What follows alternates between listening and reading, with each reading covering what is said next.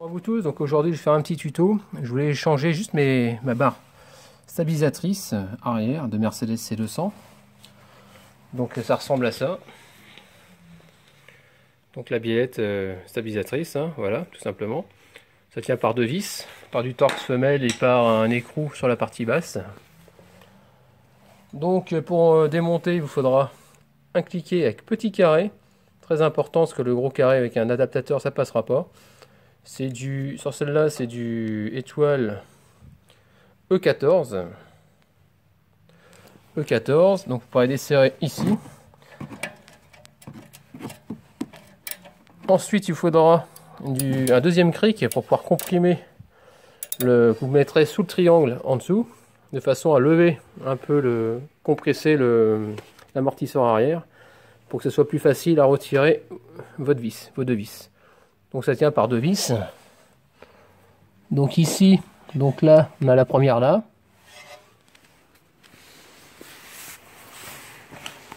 Et ensuite, voilà le second avec un écrou, il hein, suffit de l'enlever, hein, c'est du 16. Et vous bloquez de l'autre côté. Donc là, j'ai placé mon cric sous le triangle, de façon à pouvoir euh, comprimer l'amortisseur. Et ensuite, euh, je vais pouvoir dévisser déjà la partie haute. Sans difficulté. Ça se fait très très bien. Voilà. Ensuite, je vais faire la partie basse, donc avec toujours pareil la même clé et la clé de 16. Un qui bloque des deux côtés, puis ça va venir. Je vous montre tout ça. Donc là, c'est pas évident. Donc vous, essayez de passer entre le cric et votre, votre douille et le, et le cliquet. Et voilà, et ça se fait tout seul.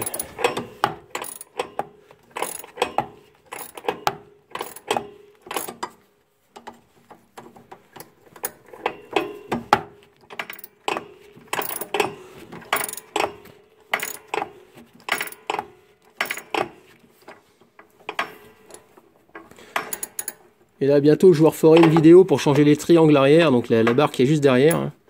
Qui commence à être un peu souffrante. Et le problème, je me suis planté, il y a, une longueur apparemment que j'ai pas fait gaffe.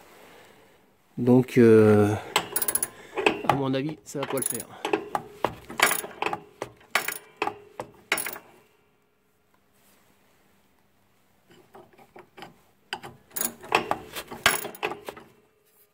Donc là, c'est pas évident parce qu'il y, a de la terre. Donc je vais l'enlever maintenant. La partie courbée vers l'arrière.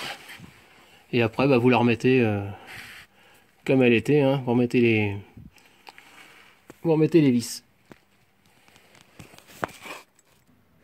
Donc la, barre hein, passe bien derrière. Hein. Faites attention au sens. Hein. Et en haut, vous verrez, il y a une, espèce d'épaulement. Euh, je vais vous le montrer.